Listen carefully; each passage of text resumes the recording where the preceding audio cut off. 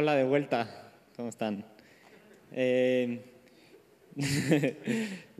la siguiente clase es The Artistic Genius of Leonardo da Vinci and Michelangelo. Entonces va a ser una clase similar con el profesor Dennis Budd, que es experta en renacimiento de Columbia University y Rogers University. Espero disfruten.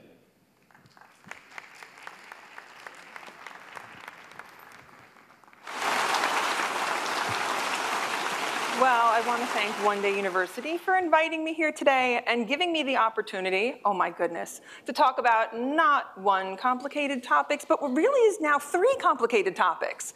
Because I have to talk to you about Leonardo da Vinci and Michelangelo and the nature of their genius. And I want you to know that rarely can I get through any one of these topics in an hour, so I got 65 minutes.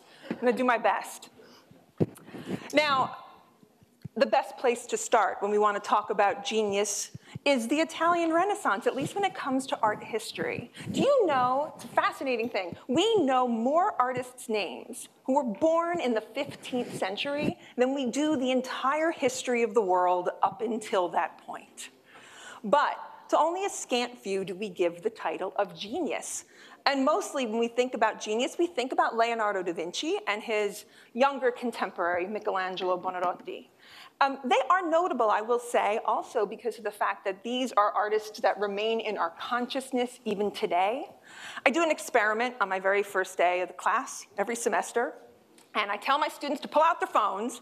95% of them have their phones out already at that moment. And I tell them to set up a Google News alert. Choose the artist they're most interested in and set it up so that every time that artist appears in the news, they're gonna get an email, right? It's something I've been doing for years. That's how I follow the news on Leonardo and Michelangelo. I used to do Raphael, but there's a lot of soccer when you put in Raphael. So, and I will tell you, there are days that my email looks something like this.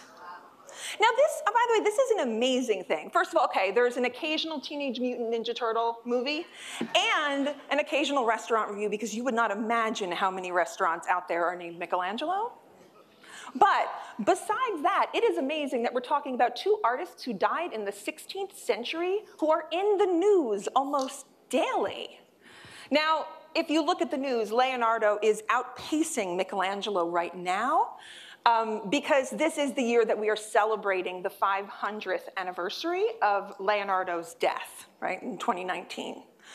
But in my inbox right now are new discoveries for these artists, new things. We like to find out new things about their personalities, about their temperaments, about their abilities, but we love new discoveries of objects. We're always searching for more.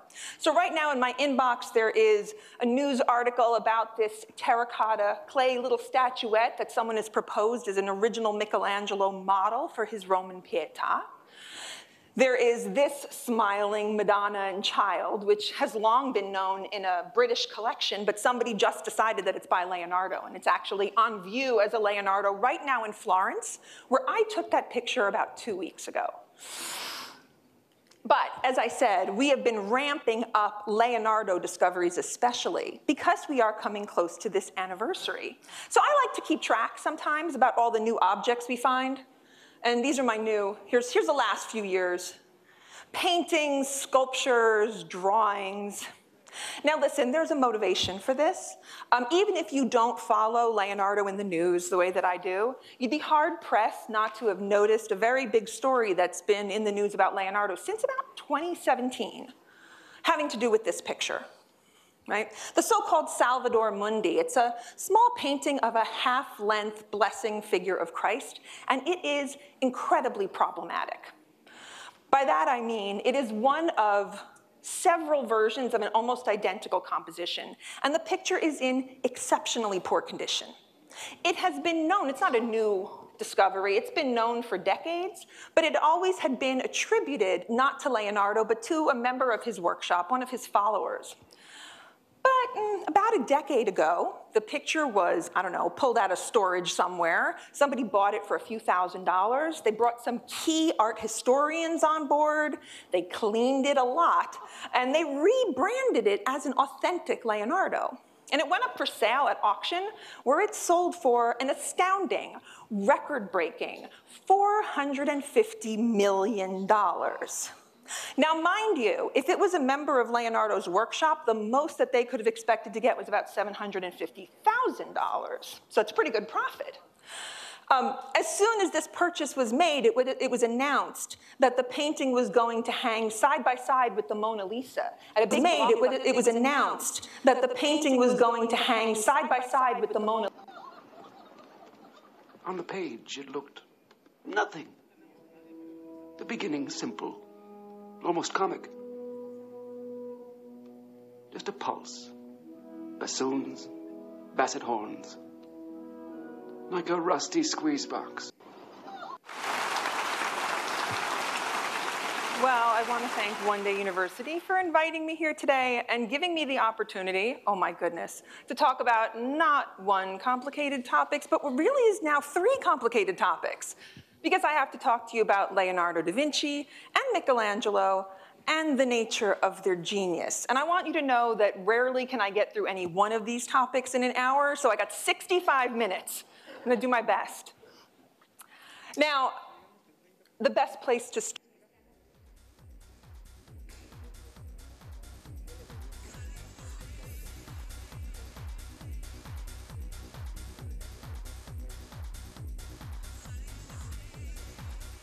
Of Christ, and it is incredibly problematic. By that I mean it is one of several versions of an almost identical composition, and the picture is in exceptionally poor condition. It has been known, it's not a new discovery, it's been known for decades, but it always had been attributed not to Leonardo, but to a member of his workshop, one of his followers. But mm, about a decade ago, the picture was, I don't know, pulled out of storage somewhere. Somebody bought it for a few thousand dollars. They brought some key art historians on board. They cleaned it a lot, and they rebranded it as an authentic Leonardo. And it went up for sale at auction, where it sold for an astounding, record breaking $450 million. Now, mind you, if it was a member of Leonardo's workshop, the most that they could have expected to get was about $750,000. So it's a pretty good profit. Um, as soon as this purchase was made, it, would, it, was announced that the painting was going to hang side by side with the Mona Lisa at a big blockbuster exhibition at the Louvre, um, scheduled for this year. But I mean, the news has been funny since then. The painting went missing, no one could find it. Someone was suspecting it was a grand money laundering scheme, and the Louvre actually just rescinded their offer to show the picture because of doubts about its authenticity. So right there, that is the sound of what, $449.25 million disappearing. So this is important. Now this is why we think about these artists today. We have a sort of current context for them. But the thing is, both Leonardo and Michelangelo were considered divine geniuses in their own time. And to a large extent, that's because we considered these artists to be what we call universal men artists who are skilled in multiple disciplines. This is, by the way, especially true of Michelangelo, who was a sort of universal man in practice. By that I mean that he was a painter who worked in the diverse media of sculpture and on panel. He was a sculptor who worked in marble and bronze, in relief and in the round. He was an architect who designed, among other things, the dome of St. Peter's Basilica. And he was a city planner. He de designed one of the most famous piazzas in ancient and modern Rome. By the way, this only represents a fraction of his work. And on top of that, we can add about 300 sonnets and a few hundred drawings, despite the fact that shortly before his death, he ordered all of them to be burned. More on that later. Now, Leonardo is a lot more difficult. Um, Leonardo was a theoretician. You know, he always was planning on writing books, but he doesn't actually publish any of them. He was a painter who didn't paint very much, and he's a sculptor for whom we really probably don't have any sculpture despite that smiling Madonna. Uh, he's an architect who didn't build any buildings. So listen, he mostly considered himself a painter. And if you're generous, This is about what we could say Leonardo paints during the course of his career. He lives to be 67 years old. That is not a huge body of work. If you're a skeptic, and guess what? I'm a skeptic, and you take away those works for which we don't have secure attributions and which are very problematic, we can get it down to about a dozen. By the way, out of these, one of them is a collaboration, several are unfinished, and the rest are in exceptionally poor condition. So, how do we go about even thinking about these artists together? And so I came up with an interesting place to start, to think about how they thought about art. And I started by thinking about two different variants on this theme of the Holy Family. Now, why did I think of these two? Interestingly, both of these were painted when the artists were 31 years old. Each was 31 at the time they painted. Nice early point in their careers. Um, though you'll notice that the dates of these two are very different. Okay, I have a question. Is there any chance of getting the lights down in this room? Sorry, it's behind my head. okay, well, good luck with Leonardo, sorry. Squint at it. Okay. Um, in any case, so these are both works from a very early place in their career. You'll notice that Michelangelo's is quite a bit later. He was born a full 23 years after Leonardo was. But let's take a look. You know, at 31, Leonardo was a late bloomer. So at 31, he had accomplished very little. At that point, there were very few finished works to his name.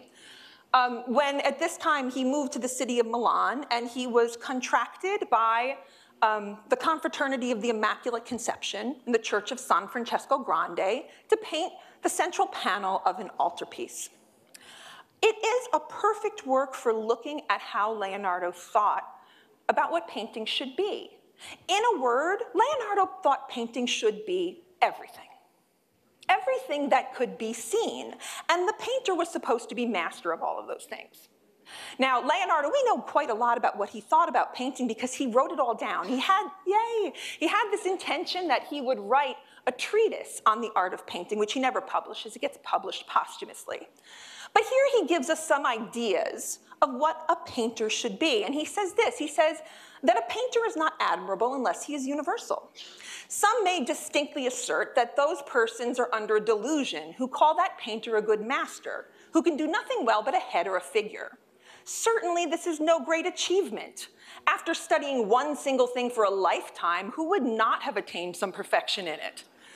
But since we know that painting embraces and includes in itself every object produced by nature or resulting from the fortuitous actions of men, in short, all that the eye can see, he seems to be but a poor master who can not only do a figure well, for do you not perceive how many and various actions are performed by men only, how many different animals there are, as well as trees, plants, flowers, with many mountainous regions and plains, springs and rivers, cities with public and private buildings, machines too, fit for the purposes of men, diverse costumes, decorations, and arts?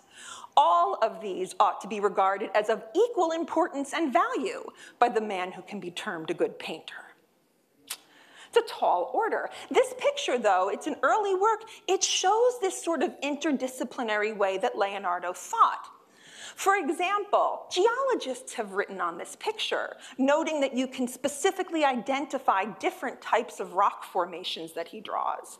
We can see Leonardo's interest in optics and the mechanics of vision when he draws this sort of atmospheric perspectival view where he shows how forms lose their definition and their chromatic identity as they move into the distance. You'll notice also here all of the plant formations around this. Um, and you can see them as well in the foreground where I tried to blow them up a little bit.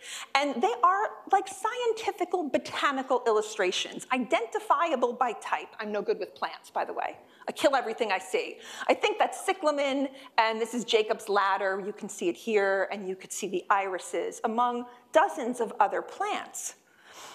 If we step back and look at the figures, we also see Leonardo's interest in anatomy. And this is an interest that he fostered his whole life. So much so that we believe that he dissected about 30 bodies over the course of his lifetime, at a time when that was not really looked on well by the church. Leonardo didn't care about that. Um, you know, we're sometimes tough on Leonardo as an anatomist. I put up a little detail here of the blessing Christ child next to one of his drawings, and this is a drawing that gets picked on mightily for Leonardo because people say that it's, it's an incorrect drawing. Here he's trying to draw the human fetus. But Leonardo, you know, he was smart and he pulled his knowledge from every source he could find it. So you know what he did? He read ancient texts about anatomy. And when he could dissect bodies, he tried to match that up. And when he couldn't get a body, he used comparative anatomy. So here, as he's trying to draw this human fetus, he's using a newborn child. And he couldn't get a woman to dissect, so it's a bovine uterus, right? But he's putting together what he knows. And the truth of it is, because of his scientific knowledge and his skill as an artist, his anatomical drawings are as good as or better than most of the period. And the only reason we don't recognize him as a chief anatomist of the time was because he always knew that there was more to know, so he never publishes any of it. So we get some sense of this idea of how much the artist needs to know. And then it's interesting to put this side by side with Michelangelo. Now again, this is 23 years later, when Michelangelo paints a picture that we call the Doni Tondo. Um, by the way, at 31, whereas Leonardo had not done very much yet, Michelangelo was quite famous, but only as a sculptor, and this is probably his only surviving painting on panel right? It's what we call a tondo. It's a round painting. And he, we call it the Doni tondo because he paints it for this guy. His name is Agnolo Doni, who I can't decide if he's a very brilliant patron of the arts or not so smart. It's a little bit of both. Um, he's quite smart in that he was an early collector of both Raphael and Michelangelo, which is pretty notable. But he will go down in history as the man who bargained poorly with Michelangelo. There's a great story about this, and it gives you a little bit of insight into Michelangelo's character. So, um, Agnolo commissions this picture probably for the birth of a child, right? And so Michelangelo finishes the painting, and he sends via messenger the painting over to Doni to collect the payment of 60 ducats that they had agreed upon and to turn over the picture. So Agnolo Doni thinks he's sly, and he sends 40 ducats back to Michelangelo thinking that that would be enough for the painter. And he's wrong. So Michelangelo is not very happy. He sends his messenger back to Doni with the 40 ducats, saying that now he has to pay him 100 ducats or return the picture. So Agnolo Doni realizes that he's made a mistake, and so he sends the original 60 ducats, that was the price of the picture, to Michelangelo, thinking that would solve the problem. And he was wrong. So Finally, Michelangelo sends back a request for 140 ducats for him bargaining one last time, and Doni finally acquiesces and he pays the price and probably learns a really valuable lesson in the meantime. So this is a much more traditional Holy Family. You know, we have uh, the Virgin Mary holding this sort of Herculean Christ child on her shoulder with a Joseph behind her. And then in the middle distance behind a low wall, we see a young St. John the Baptist and behind that, further in the distance, we see five muscular male nudes, enigmatic. We've been debating the meaning of these naked men for the last century or more. So it's interesting, though, to think about what Michelangelo and Leonardo think about painting. It's hard for Michelangelo because he was not a theorist. He did not want to write a treatise on art or any such thing. But there is a 16th century source that records supposedly a dialogue with Michelangelo. This guy named Francisco de Holanda, a Portuguese painter, publishes this text. And in the text, Michelangelo is talking about Flemish painting, that is painting from Northern Europe. And here's what he says. I love this. It gives you a little bit of insight of how differently these guys think. He says, In Flanders, they paint with a view to deceiving sensual vision, such things as may cheer you and of which you cannot speak ill. They paint stuffs and masonry, the green grass of the fields, the shadows of trees and rivers and bridges, which they call landscapes, with many figures on this side and many figures on that. And all of this, though it pleases some persons, is done without reason or art, without symmetry or proportion, without skillful selection or boldness, and finally, without substance or vigor. Nevertheless, there are countries where they paint worse than in Flanders. And I do not speak so ill of Flemish painting because it is all bad, but because it attempts to do so many things well, each one of which would suffice for greatness, that it does none well.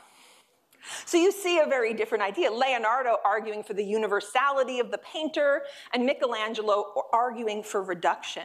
It's actually quite an interesting idea. We're going to talk a little bit today about, obviously, all day about comparing.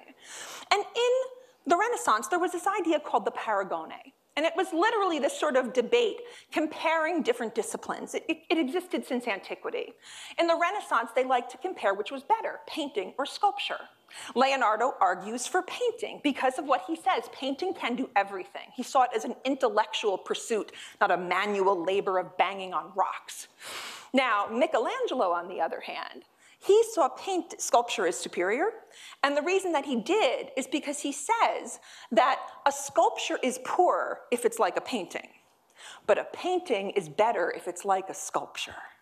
And you can look at his art and you see this sculptural interest in Michelangelo. It's about focusing on the human figure and creating this realistic three-dimensional form. If you look at the two artists together, you know, Leonardo's botanical studies, Michelangelo has no such interest. The ground is a wash of green, a couple sprigs of grass, a little punches of clover. If we look into the background of the picture, we saw Leonardo's atmospheric perspective. Here we just see patches of green and blue to suggest distance, none of this interest in geology or in vision. For Michelangelo, it was all about the hue. That was the one thing he was planning on doing well, right? Um, he, like Leonardo, is a student of anatomy, and somehow he convinced the prior of the Church of Santo Spirito to let him have bodies. There was a hospital attached to the church, and Michelangelo, from the time he was a teenager, was apparently dissecting bodies in the crypt, again, at a time when the church frowned on such things. But let's go back to the beginning a little bit because we're going to see some similar beats in the lives of these artists. First of all, we think of them both as being essentially Florentine by nature. Neither one of them is born in the city of Florence. Leonardo is born about 20 miles to the west um, in the small hill town of Vinci, from where he gets his name. Uh, Michelangelo's born in a smaller, hillier town, about 60 miles to the east of Florence, called Caprese, which can I honestly tell you, the best porcini, I don't remember anything about caprese, except it was the best porcini mushrooms I've ever had in my life. And someday I'm going back for them. Um, by the way, we now call this caprese Michelangelo, because that's what they got going for them, and the mushrooms, that's it. Um, Michelangelo was born in Caprese because his dad had a very short-term government post there at the time that Michelangelo was born. So shortly after he's born, he's brought back to Florence. Um, Leonardo, on the other hand, spends the first five years of his life in Vinci, he, being raised by his father and his grandfather, who were notaries, and they bring him to Florence in about 1457. And Florence must have been an amazing place for an artist to be growing up at this time. A city of about 40,000 people, dominated by the newly constructed cathedral, the Duomo, which was just recently finished. But honestly, it's a great example to think about how they thought about genius in the Renaissance. I love this idea. So when the cathedral was begun, it was 1296, and they planned a building that was so large in its footprint, and they start building such thin walls that they had no conceivable way of putting a dome on the building. Right? In other words, they created a seemingly impossible engineering challenge with the idea that man would find a way. I mean, that's the hope in man's genius, right? It took until 1418 for a sculptor turned architect named Filippo Brunelleschi to solve the problem of the dome. And at the time that the young Leonardo is in Florence, he was witnessing the final touches on the lantern at the very top. But Florence also, for both of these artists, meant opportunity right? Um, the city itself was a major economic center of both the silk and wool production. It was also a banking center. In fact, the Florentine coin, the florin, was the first universally accepted gold currency in use in Europe since the 8th century. So Florence is something of a center. And in the time of the youths of both of these artists, the sort of de facto ruler of the city was a man named Lorenzo de' Medici, Lorenzo the Magnificent, they called him, who was more or less running the city from about 1469 to 1492. His grandfather, Cosimo, had constructed an enormous palace right in the heart of the city near the cathedral, um, where he created a huge humanist court full of scholars, and it only was growing in the middle of the 15th century because of the fall of Constantinople, and it sent all of the great Greek scholars into exile, some of which landed in Florence. So it was a rich time for them to be there, and both Leonardo and Michelangelo found their artistic training in Florence.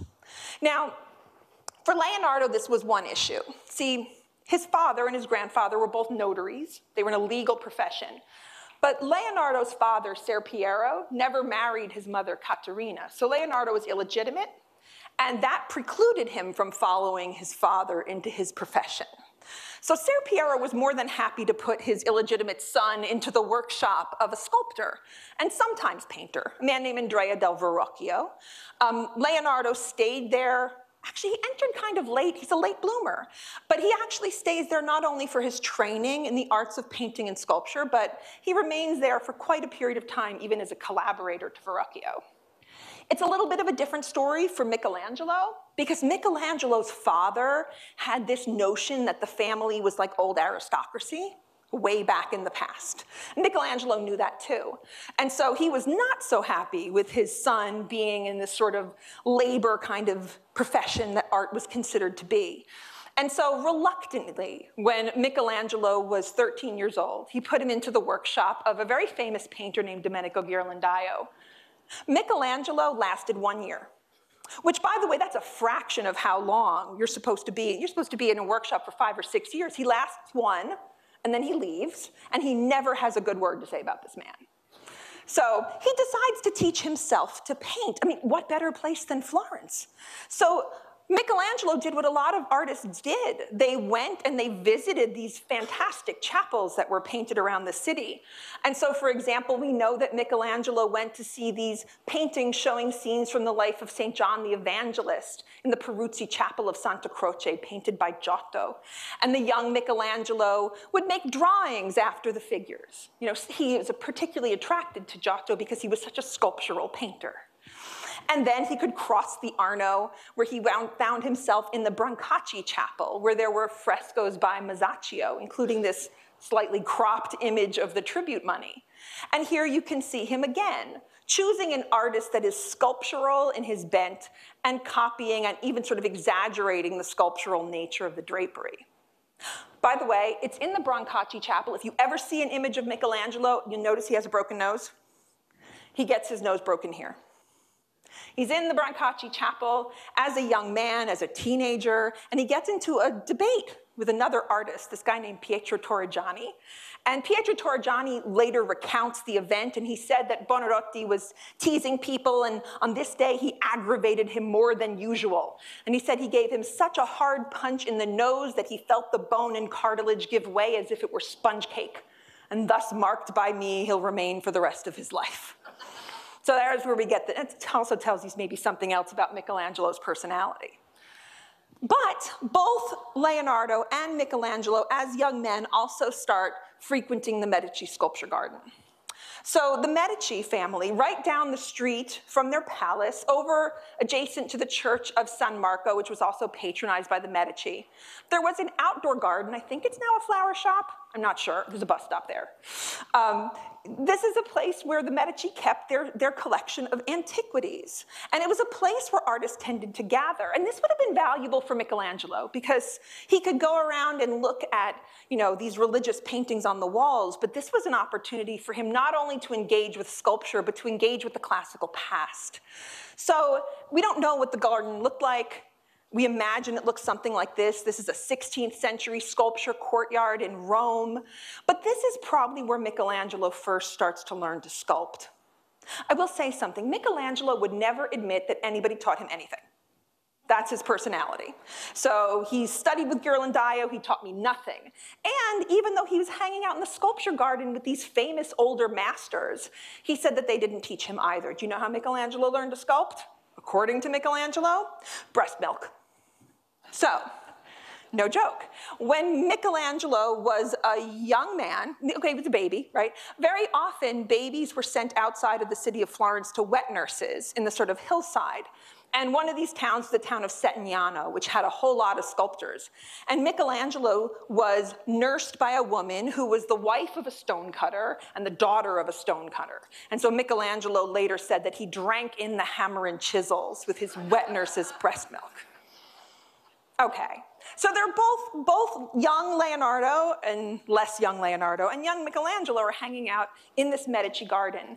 And while Michelangelo is learning to carve, Leonardo finds another kind of opportunity.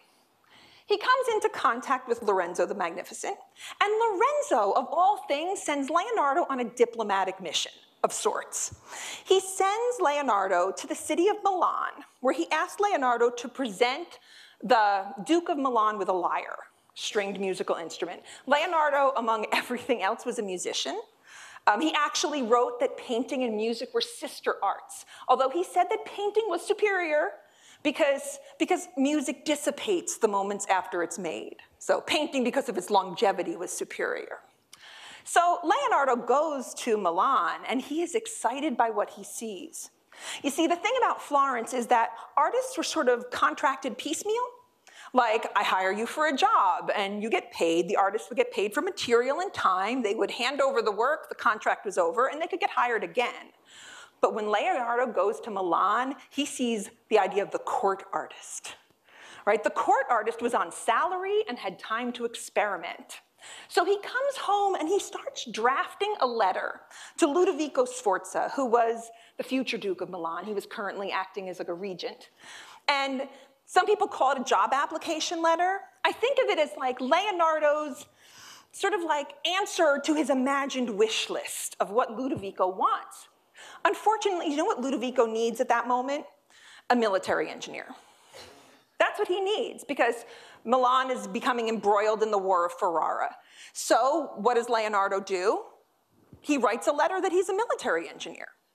Now, okay, I'm gonna show you a whole lot of words here. I'll show you what's important. It's a long letter. But Leonardo gives this list of 10 items of all the things he can do for the Duke. I will start by saying out of the first nine, he has no experience in these things that we know of. I have these vague flashbacks to the first time my boss ever asked me to do something on a fax, my age, on a fax machine. And I was like, okay. And I got to the fax machine, I was like, mm, I don't know how to do this. But he writes this fantastic letter. Here are all the things that he can do. And they include, in short, he can build light, strong, and easily portable bridges. By the way, the bridges could be lifted up and moved as the enemy approached. He could destroy fortresses of every kind. He could make cannon. He could make covered assault vehicles basically. And you know, by the way, all of these things, he will eventually make drawings for all of these ideas, and we can see some of them here. You know, this one I love. Here's his war machine, which is a chariot-pulled rotating scythe to cut up bodies on the battlefield. We've got the four-man armored tank. And this one, which might be my favorite, because it's the enormous revolving crossbow, but it's like a giant hamster wheel that the people, you know, they climb on it and they turn the four different crossbows rotate. So this is what he says he can do for the Duke. I can do all of these things. It's only when you get to item number 10 that we start to come across things that Leonardo might be able to do. He says that he can, he's an architect. He says that he can also make sculpture in marble, bronze, and clay. Likewise, he can paint. That's like the last thing that he says. Well, that's not true. There's one thing he says very, very last, and it's very, very important. And he says this Moreover, work could be undertaken on the bronze horse, which will be to the immortal glory and eternal honor of the auspicious memory of his lordship, your father, and of the illustrious house of Sforza.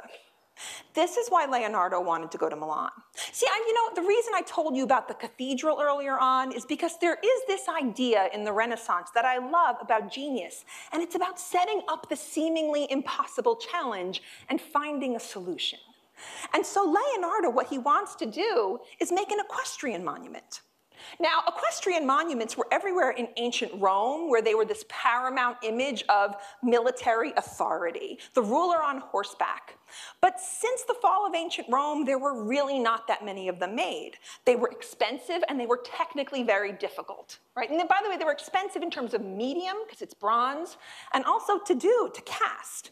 So that form, like many other things, was being revived in the Renaissance. So in the middle of the century, Donatello, the very famous sculptor, he created an equestrian monument to this general named Erasmo de Narni. We call him the Gattamelata. It's in Padua. And then at the very moment that Leonardo wrote his letter, he, his own master, was planning an equestrian monument. So Verrocchio was planning a monument to the Bartolomeo Colleoni. This is in Venice.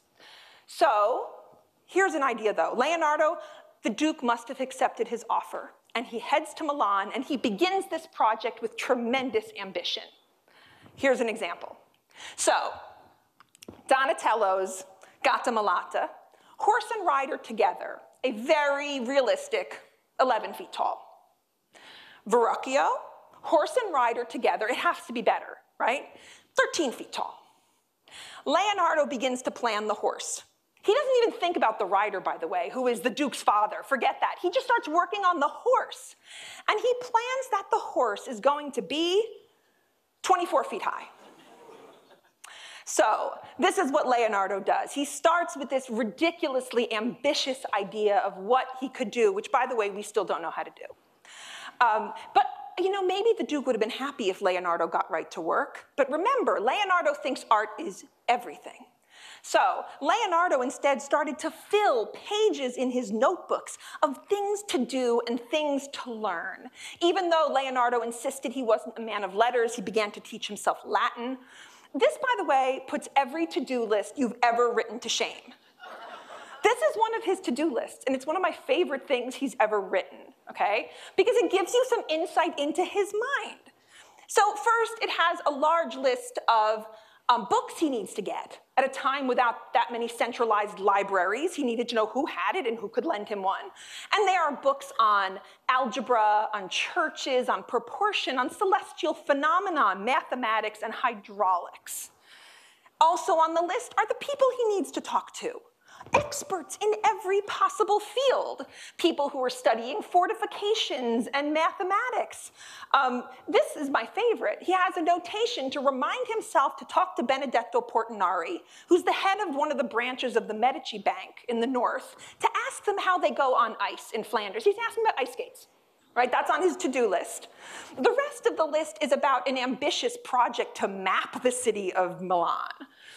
So all of these things are keeping him busy and driving his patron crazy. So much so that finally by 1489, Leonardo has done nothing on this horse. And Ludovico has his agent, his ambassador in Florence, write a letter to Lorenzo the Magnificent saying, can you get me another artist? Right? He says here at the end, let's see, although he has given the commission to Leonardo da Vinci, he appears to me to be far from satisfied that the sculptor is equal to the task. So Leonardo gets to work. He begins a book, of course, because there's always a book. He begins a book on how to make the horse. He begins to study different ways to compose the monument. He starts to hang out at the ducal stables, where he makes careful measurements of every part of the horse's anatomy. And he begins to try to figure out this impossible task of how he's actually going to cast a 24 foot tall horse in a single piece minus the tail. And so here you can see this fantastic drawing where he's designing the armature that's going to go around the clay model. And here, where he's trying, this is great, he's trying to figure out how he's going to dig a pit to put the model into it so that he could pour in the bronze. But every time he tests it out, the horse is so big it hits the water table and ruins the mold. So Leonardo, though, he works hard. And by 1493, he's got a clay model of a 24 foot high horse, at which point the worst happens, which is that Milan goes to war with the French. And Ludovico had allocated 70 tons of bronze to Leonardo for this project, but he takes it all back and gives it over to the foundry to make cannon. So by the time we're in the early 1490s, things are not going that well for Leonardo. They're not going that well for Michelangelo either. Um, Michelangelo, like Leonardo, was hanging around the sculpture garden, and he too befriends Lorenzo the Magnificent. Um, Lorenzo, Lorenzo really takes a liking to Michelangelo, and by all accounts, Michelangelo becomes like a member of the Medici household for a few years, where he gets to associate with great thinkers and humanists. One of the Medici children was exactly his age. Um, going like that, they're like teenagers. They all look like that to me now, little teenagers running around. But they were exactly the same age. That was going to grow, he was going to grow up to be the future Pope Leo X. Right? So this is Michelangelo's world. But when he's 17 years old, Lorenzo the Magnificent dies and he is replaced by his son, Piero di Lorenzo, who he, we call him the Magnificent. This is Piero the Unfortunate. no joke, that is this poor man's name. So Piero the Unfortunate, he only rules for two years before he gets ousted, like the Medici family gets kicked out of Florence. And those were not a terribly good two years for Michelangelo. And supposedly the only thing he ever commissions from Michelangelo was a snowman during an especially big Florentine snowstorm. So when the Medici fall, Michelangelo leaves Florence. He goes first to Bologna very briefly, and then he makes a brief return to Florence, where he sculpts a statue of a sleeping Cupid. This, by the way, is not Michelangelo's, or maybe it is, we don't know. We've lost the sleeping Cupid. But this is an ancient type of sculpture. There were many of these made in ancient Rome. Um, and Michelangelo makes one of these, and it is seen by a dealer, this guy named Baldassare. And Baldassare says, hey, Michelangelo, you know, if you bury that in the ground and dig it back up, it'll look ancient. And Baldassare takes the statue to Rome, where he sells it to a cardinal for 200 ducats, pays Michelangelo like 30, right? But he sells it for 200 ducats. It works for a while, but somehow the cardinal gets wind of what happened, of the deception, and he returns the money. he gets his money back, he returns the statue. But he invites Michelangelo to Rome. And so Michelangelo goes to Rome where he starts working for another dealer, this guy named Jacopo Galli. And Galli asks Michelangelo to make a statue of a Bacchus. Now, Bacchus, this particular statue, is incredibly important because, as far as I know, it is one of the earliest life size nudes of a classical subject that was made in the Renaissance. It's a big deal. It's actually over life size. An image of Bacchus, right, the ancient god of wine and sort of vegetation. And it is a really spectacular image because we see Bacchus with this sort of drunken state. He's in an unstable pose. He's got the unfocused gaze. Um, we know, by the way, that it's Bacchus. Michelangelo made him very readable. We can see his grapes adorning his hair. And as we move around the statue, we can see the little satyr that's there to prop him up, nibbling on more grapes and embracing with his arm this sort of panther skin that we see trailing onto the bottom of the rock. It was an incredibly ambitious sculpture. It's one that sometimes people overlook because we're not sure what to make of it. Um, the, unsteady, the unsteady pose of the figure is particularly notable. First of all, because sculpture needs to be stable Inherently, sculpture has issues of balance, so to make this figure with this ungainly pose was quite a feat. But it's also a sculpture that you need to move around, right? So if you look at it from the front, we have the best view of Bacchus's face. As we move around the side, we get the view of that little satyr coming in. From the back, we see the back. but we can also then see the face of that panther skin trailed onto the ground. But when you walk around the statue all the way to the left, you get this view, which is really problematic and confusing. And it's hard to imagine Michelangelo intended a view to look like that. So, what happened? Why does he do it? There are two pieces of evidence from the 16th century which give us a clue. One of them is a print that was made in the you know, 1530s, and you can see the statue of Bacchus in Jacopo Galli's sculpture garden. And the other one is a drawing by another artist who clearly is interested in studying the anatomy.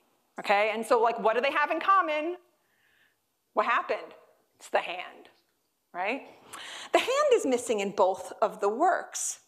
And it's really interesting. It's hard to imagine what kind of trauma could have happened to this statue where it wouldn't have broken off that very fragile head, but it would have taken off entirely Bacchus's right hand, as well as, by the way, his penis, which is missing as well. Um, so, like, what happens to the statue? And there's really one super logical answer, which is that Michelangelo never made a hand for it. Michelangelo made it as a purposeful fragment. Why? Because he was trying to make an antique right? So, um, you know, there's other evidence of this. If you look at the base of the statue around the back where there's that panther head, do you see these little dots? They're sort of pronounced in the eyes. Those are made with a, um, a bow drill, which is how artists drilled into stone, right? So it's a handheld drill. Um, Michelangelo knew from looking at ancient sculptures, all artists use these drills, but ancient sculptures, in ancient sculptures, those drill holes became more pronounced because of the erosion of the surface over time. So here, Michelangelo's trying to make a work that looks like an antique. So what does he do? He puts in these pronounced drill holes. He chooses a classical subject. He shows that it's broken right? So this is the lesson he learned from that sleeping Cupid. What did he learn? No matter how famous of an artist he ever became, his works would never be worth as much as an ancient work would. Supply and demand, right? So it's kind of interesting because not long after he makes this work, he gets commissioned to make what might have actually been the first work he could have really claimed credit for in Rome, which was, a, not this, which was an image of a Pietà. So a French cardinal asked Michelangelo to make a Pietà for his tomb in St. Peter's. The Pietà is sort of an imagined subject where Christ's body is taken down from the cross and Mary holds him one last time, and it's meant to evoke the images of the Madonna and child. It was not a very common subject in art, at least not in Italy, because it's incredibly awkward. Because the artist has to come up with a solution for how to put an adult male body onto the lap of an adult woman. So there's issues there of balance. Um, so you can see the painted solutions were not terribly satisfying. There was a sculpted tradition for the Pietà, but it tended to be German and French, Gothic statues. So this is what Michelangelo is asked to do. By the way, he's 23 years old. And he's such an unknown artist that we actually have the contract for the Pietà, which is rare. But he's so unknown that he has to have Jacopo Galli co-sign. Like, this guy is gonna promise Michelangelo makes the statue. And this contract is one of my favorite contracts. I mean, if you can have a favorite contract, this is my favorite contract. So here, Jacopo Galli says, I, Jacopo Galli, promise the Reverend Monsignor that Michelangelo will make the work within one year and that it will be the most beautiful marble work presently in Rome and that no other present master would do it better. Bang, signed Jacopo Galli. That, is, it's a tall order, right? And so Michelangelo sets out to do this. You know, it is the only work Michelangelo will ever finish like this. He's young. It is, it is a work that is finished from God's eye view, which is incredibly rare for Michelangelo, who's known for leaving his surfaces rough. We can see his interest in anatomy, right, particularly in the body of Christ. But it was that challenge, and again, Michelangelo loves a challenge, that challenge of how he was going to make this kind of image look believable. And his solution is kind of brilliant. Um, so, this is that moment, you know, okay, for, wait, first of all, I will say that he does everything he can to make Christ's body compact, right? He tips Christ's head back into sort of Mary's armpit. He's sort of circular. He keeps the legs bent at a sort of an acute angle. But the real challenge was the body of Christ should just be too big. So this is the moment where I tell my students to do crazy things in their head, but it works. And I say to all of them, okay, make Mary stand up. And they go, whoa, Mary's really big. Well, okay, but that's not a good solution for an artist. You can't just make Mary twice the size of Christ. It would be a ridiculous looking image. So Michelangelo is smart because he's thinking about the way we see things. So he knows that when you look at this statue, the focal point for you is going to be on the body of Christ. It is the focus of the pathos, right? And here all of his interest in the anatomy is present. But when you're done looking at the body of Christ, you're going to look at the face of Mary, right? Where we look for that emotional connection between the two. So if you notice, despite the fact that Mary is enormous, look at her face. Her face is small, and it's on exactly the same scale as Christ's body. So that when you look from his body to her face, there is no disparity between the two. You don't see the discrepancy. Then you'll notice how smart he was, because he had to make her face small, but her head match her enormous body. So here you could see how he piles the drapery up on top of it in order to make those two different sets of proportions work. It was brilliant. And by the way, it was the only statue he signs. And I don't know if that's because he was young and sort of full of pride, and this was like his first big outing as an artist, or if because he really was working as a forger and it was the first time he could say, I did it, right? So here's the thing we have Michelangelo who does it, who actually fills this contract and makes like the most beautiful statue in Rome. But poor Michelangelo, sorry, poor Leonardo. Leonardo's still stuck being a court artist. Um, he was working for Ludovico, making uh, parade decorations. He was painting portraits of the ducal mistresses and painting rooms in the palace until he gets an opportunity to make um, one sort of last major work in the city of Milan when Ludovico hires him to paint a Last Supper. Now, it's actually kind of interesting. Just like Michelangelo had this opportunity to make um, a work of a Pietà, a type that existed, and sort of improve upon it, find a solution for it, Leonardo was asked to make a Last Supper for this church. Um, Last Suppers were a very common theme in Florence. Leonardo knew lots of them. They're boring compositions. Last Suppers are not exciting. Um, I know, hard to believe. But he, he would have had access to a number of these different variants that he could have seen in the city. Look, it involves putting 13 men eating around a table. Right? And your criteria as an artist is to make sure that you can identify the key players in the drama. Christ, who's almost always placed in the center. Um, St. John, who's Christ's favorite, who's so innocent, he's usually shown taking a nap. Right? Usually you can find St. Peter because of his role at the arrest of Christ, but also because he's the Pope. And then there's Judas. I love these pictures. Who could, who could the bad guy be? Who could he be? There's always one guy sitting by himself on the other side of the table. Right? So they all have a certain convention. And besides that, you basically line the figures up on the other side of the table like bowling pins. And this is what Leonardo is charged with doing.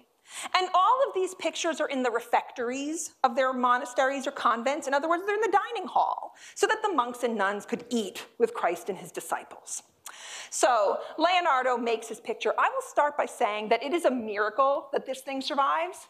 It's a miracle. Um, the church of Santa Maria delle Grazie was nearly destroyed during World War II. Um, in fact, the refectory where Leonardo's painting was actually comes down, more or less right? You see this decoration here on the wall? That's this.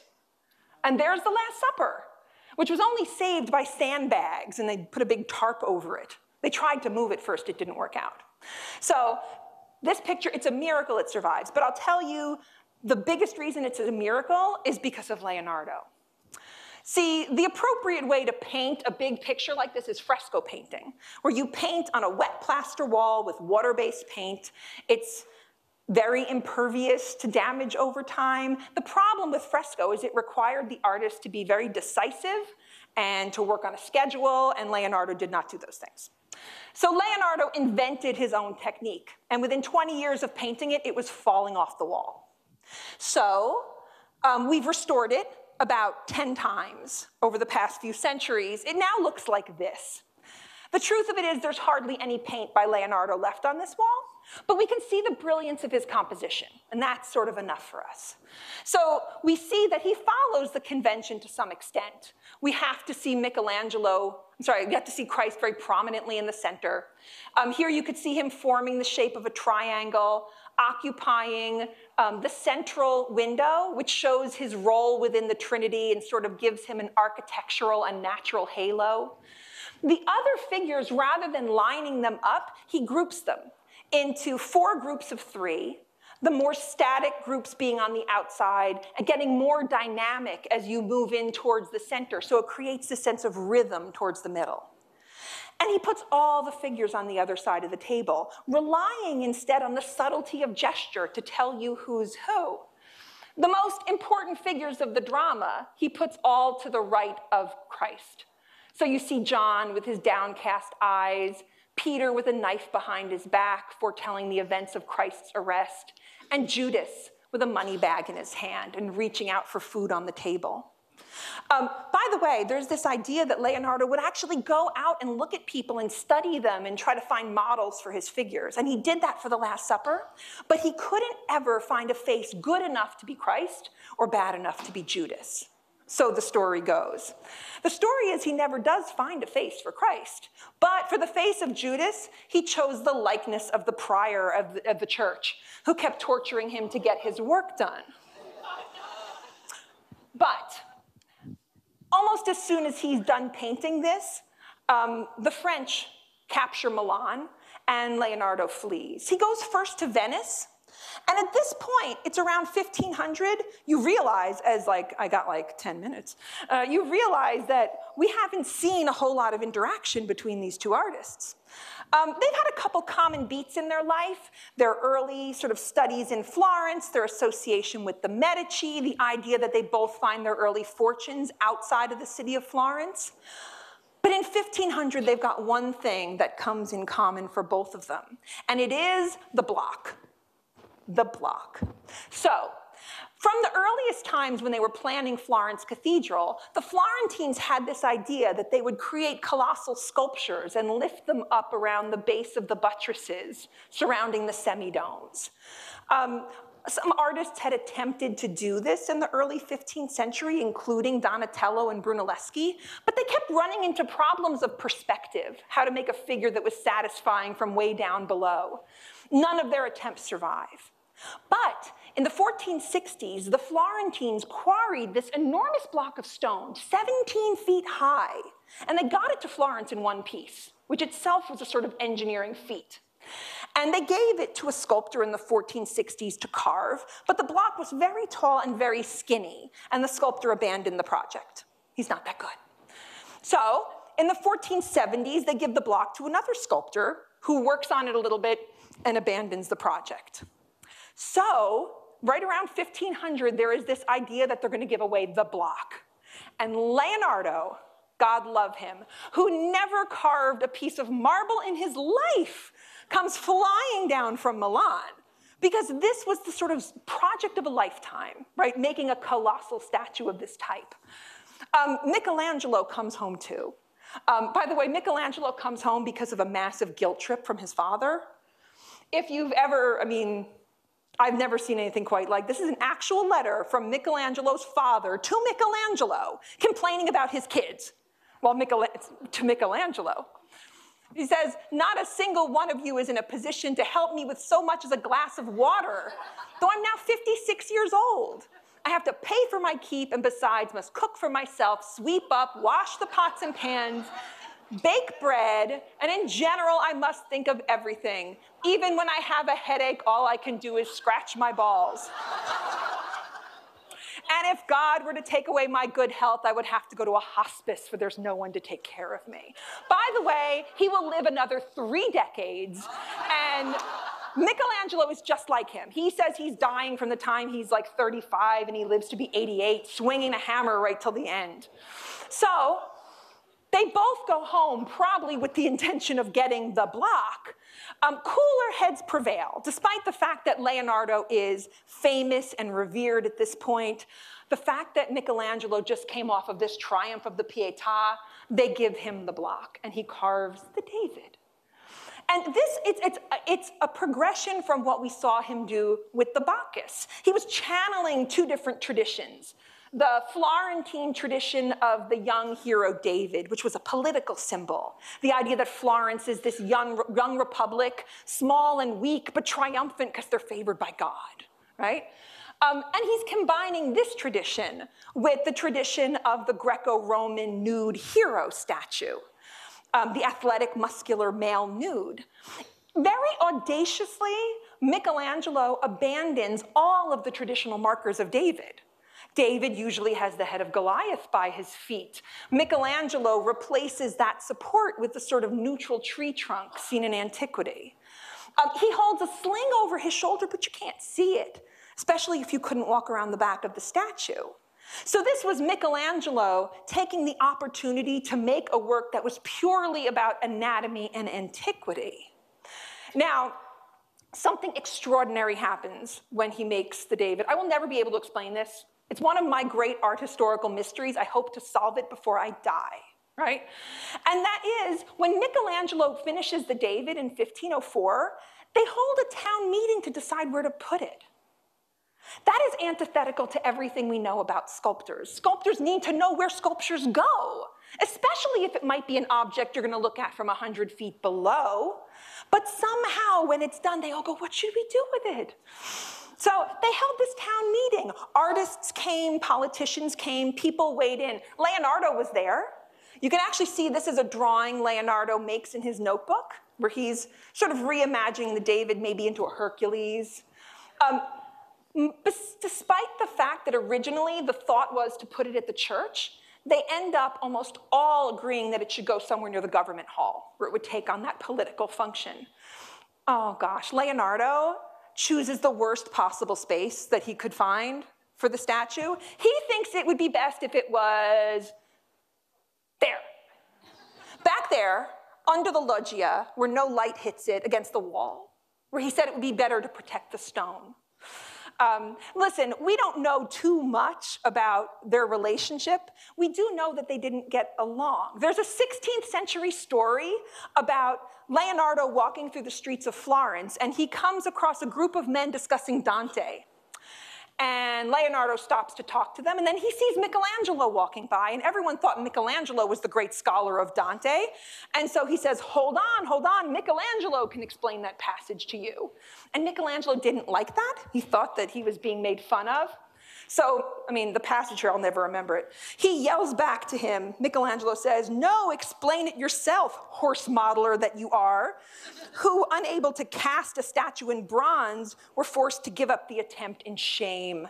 And he leaves Leonardo blushing in the streets. So, it doesn't end up in that terrible spot. It gets a better location right beside the doorway. But Leonardo, so what does he do? He wanted this big showy commission. Leonardo does what Leonardo does. He probably painted or dabbled on the Mona Lisa at this point. But other than that, he made anatomical studies. He made mathematical studies, botanical illustrations, maps. He even started writing a book about how birds fly, right? But then there's this great moment in 1503 while Michelangelo is finishing up the David. The government of Florence hires Leonardo to paint in the government hall. Now, this is a big deal. I mean, we can think about this as a kind of competition between the men. Here's Michelangelo, who right now has the most important sort of political sculpture project. And so now Leonardo is getting hired to paint a picture in the same political setting, the largest picture that was then in Florence. So Leonardo gets to work. He was asked to paint a scene called the Battle of Anghiari, which was a battle between Florence and Milan from 1440. And he begins studying the composition, the horses, the dramatic faces of the men. Um, he's doing this to prepare a cartoon, a full scale paper drawing that would map out the picture and allow him to transfer it onto the wall. Um, the cartoon doesn't survive. Um, but the best of the copies of it that exist, though probably Baroqueified and exaggerated, is Peter Paul Rubens' copy that's in the Louvre. But you can see, you know, this sort of dramatic, probably the central scene in what was a much larger battle. So here's what's funny. While Leonardo is planning this picture, which he's going to put right here on this portion of the wall, the David had been finished. And you know what the Florentine government decides? Why don't we just have Michelangelo paint in the very same room? You want a competition? Let's have a competition. They not only to put them in the same room, they plant them on the same wall. So Michelangelo was given this section of the wall, where he was supposed to paint the Battle of Cascina, which was a battle between Florence and Pisa from the 14th century. Um, of course, Michelangelo imagines it as this moment when an alarm is sounded and the men were all naked and bathing in the river and caught off guard. So they run out of the water to throw on their clothes for battle. So it's a great moment. We can see at this time this competition set up for them, and each one of the men being the artist that he is. Michelangelo, who thinks of the battle scene as only this composition of muscular male nudes. Leonardo, who probably sees it as a chance to finish his equestrian thoughts, um, to sort of redeem himself, um, who imagines it as this fantastic horse battle, but full of all those things that he loved animals and men and armor and landscape. Now, okay, the thing about this is, as soon as Leonardo starts painting, it's a disaster. Um, he writes about how the cartoon falls off the wall the minute he begins to paint. And not that long after, both of the men leave Florence. I love this, come on, it's fun. Doop. Leonardo, he goes back to Milan, um, where the French gave him an opportunity to make up for the equestrian monument by making one for them. And Michelangelo leaves and he goes to Rome, where the new pope gave him the opportunity to make his tomb, which Michelangelo imagines as three story high with dozens of over life size figures. So, in the end, neither man finishes what they're supposed to do. Um, Leonardo greatly upset the Florentine government, who, just like Ludovico Sforza, was upset. They tried to get him back. They said that Leonardo comported himself like a debtor for taking all this money and not making their picture. But it's a fitting end for us, right? For the two of them, I'm to zip through this because I know I'm out of time. It's a fitting end for us, for the two of them, that they both walk away from this challenge. And that's not because it doesn't fit what the Renaissance was. We think about the Renaissance as this great moment that likes these comparisons painting versus sculpture, artist versus artist. But for both artists, just like the Dome of Florence Cathedral, they needed to set up a bigger challenge, something that they couldn't fulfill. For Leonardo, it's the equestrian monument. For Michelangelo, it's the chance to carve the Pope's tomb, which, by the way, neither will get done either. But for us, it's a fitting end, this great ambition, which allows us to call them genius. Thank you. That was a lot. Woo.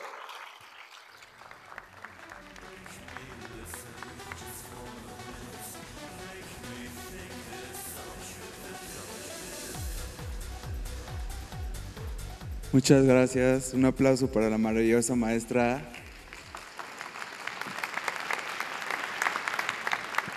La profesora Denise Budd de las universidades de Columbia y de Rutgers. Hi, Denise. Hello. It's a pleasure to have you here and an honor to be working alongside you. Thank you. Thank you for having me. This is wonderful. Está muy contenta de estar aquí con nosotros. Este, vamos a proceder a hacerle la primera pregunta a la profesora. I'm going to ask you the first question, Denise. Es la, que siguiente. ¿Cree usted que Leonardo se dio cuenta de que su relación con Michelangelo o Miguel Ángel no era solo una rivalidad, sino un choque de genios que marcaría la época artística más importante de la historia de la humanidad? Denise, um, do you think Leonardo realized that his relationship with Michelangelo was not, on, was not only a rivalry, but a clash of genius that would mark the greatest artistic era in human history? Well, it's hard to say what they saw about their bigger places in history at that point. Certainly, the men knew that um, they were rivals. They often worked for the same patrons, they fought for the same commissions. Um, but and they and they certainly knew that they didn't get along. Did they see their big place in history? Maybe. Certainly they could look back on the artists that came before them and see the impact that they made.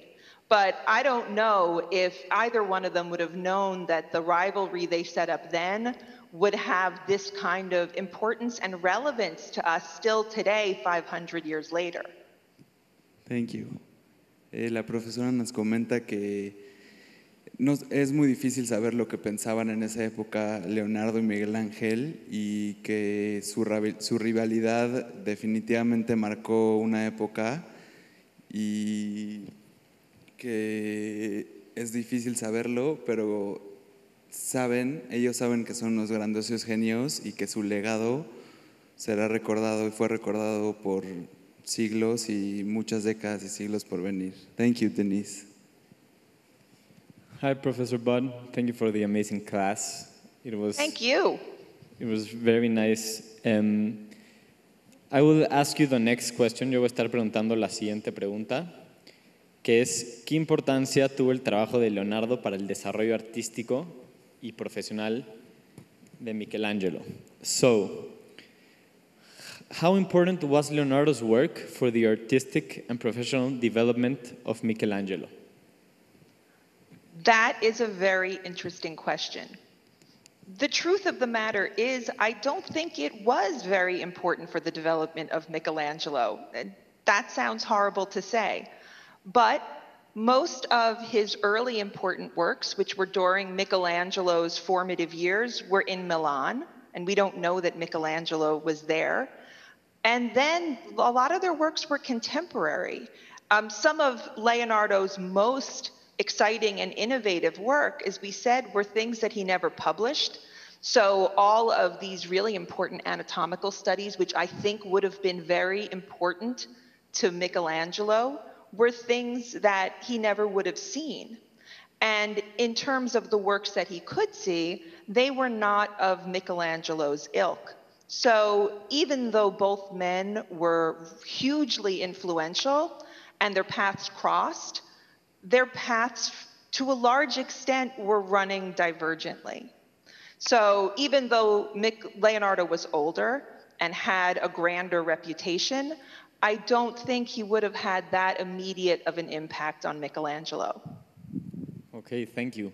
Em, pues algo muy interesante es que la profesora considera que realmente los años formativos de Michelangelo no tuvieron nada que ver con el desarrollo, artístico de, de Da Vinci en esa época. Uno estaba en Milán, mientras el otro estaba en Florencia.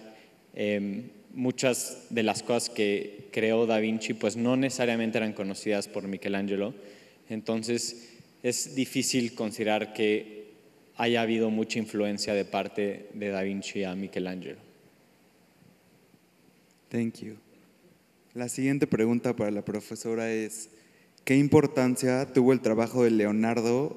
No, disculpe. ¿Cuál fue el mayor desafío que Leonardo y Miguel Ángel tuvieron que enfrentar en su época? Professor Bud, the next question is, what was the biggest challenge that Leonardo and Mi- Michelangelo faced in their time? Well, they faced enormous challenges in many different ways, like we all do. There were, as we've talked about some of them, real professional challenges, both in terms of working with their patrons and finishing their projects. They also faced tremendous challenges in their lives. Um, quite interestingly, given the world that we live in today, Leonardo um, in his early years in Florence, lives through a very bad plague there in the 1470s. Then he moves to Milan, and there's another plague. You know, the plague would travel from city to city, and so he hits it twice in a short number of years. And the plague in Milan was one of the worst of its time. And Leonardo handles it the way that he handles every other challenge, which was that he looked at it as an opportunity. So he started developing plans for a new kind of city that would prevent the spreads of disease. So Leonardo, when he saw challenge, saw opportunity. Michelangelo faced many challenges as well in terms of the situation of his era. He would work for patrons like the Medici in Florence um, and then work against their political allies. So Michelangelo was an artist who found himself involved in politics and wars. So, I mean, these were men who lived in really interesting times. So, not only did they have the artistic challenges that we talked about, but they had the challenges of growing up in a very tumultuous time in human history. Thank you very much. That's very interesting. Los- nos comenta la profesora Denise que Leonardo no solo tenía desafíos artísticos, sino también desafíos en su vida cotidiana. Vivía en un momento histórico muy difícil. Fue vividor de dos plagas diferentes. Él vivía en Milán primero, se mudó y tuvo que enfrentar otra plaga. Entonces, los, los desafíos que enfrentó Leonardo de verdad eran mucho mayores que solo sus desafíos artísticos. Y Mi- Miguel Ángel también tuvo varios eh, desafíos fuera de su esfera artística. Estaba muy involucrado en las políticas, en la política pública, tratando de ayudar a todas las personas en esa época. Y esto nos demuestra que además de ser grandes artistas, eran grandes filántropos en su tiempo. Gracias. Thank you. So, for the last question, para la última pregunta, esta es más subjetiva, pero es, al final, ¿quién crees de ambos artistas que tenía ma- mayor talento artístico? So, the last question, which is, in your opinion, who would you say had more artistic talent? That is a really hard question. Um, I will say, in all fairness, that I am first and foremost a scholar of Leonardo. So I have a lot of bias in that direction, but I can't give you one fair answer. I can say that for the works they actually produced, Michelangelo wins. Michelangelo painted the Sistine ceiling. He put the dome on the, the Basilica of St. Peter's in Rome. He, you know, sculpted the David and the Pietà. So some of the most famous works of all of history belong to Michelangelo in every medium. Leonardo, on the other hand, considering how little he painted, that maybe dozen works, the fact that among them are The Last Supper and the Mona Lisa, two of the most famous paintings ever, um, says a lot about him. However, I would say for sheer output, Michelangelo produces more, produced works that lasted in a way that Leonardo never did who was the greater mind, I would give the greater mind to Leonardo because he understood so much about so many fields. So they're almost they're impossible to compare. Michelangelo was the greater worker. Leonardo was the greater mind. Thank you, Yeah. Em, sí, es una pregunta difícil, es una pregunta que pusimos a la profesora en una posición complicada, pero pues Michelangelo hizo estas obras increíbles, la Capilla Sixtina, el David, pero lo que es impresionante es que Da Vinci pues hizo una docena de obras y estas también han perdurado por muchísimo tiempo. Entonces, la mente más brillante pues, se tendría que ir a Da Vinci, pero puede que el talento y, y la forma de pintar y de crear y la técnica más para Michelangelo. Entonces, thank you very much, professor. Thank you so much, and thank you for having me. And everybody stay safe and stay well. Have a wonderful day. Thank, thank you so much, Denise. It was a great pleasure. Thank you. Muchas gracias a todos. Ahora vamos a ir a un coffee break de 45 minutos. Eh, va a tomar lugar en la explanada, por favor. Y muchas gracias a One Day University. Gracias.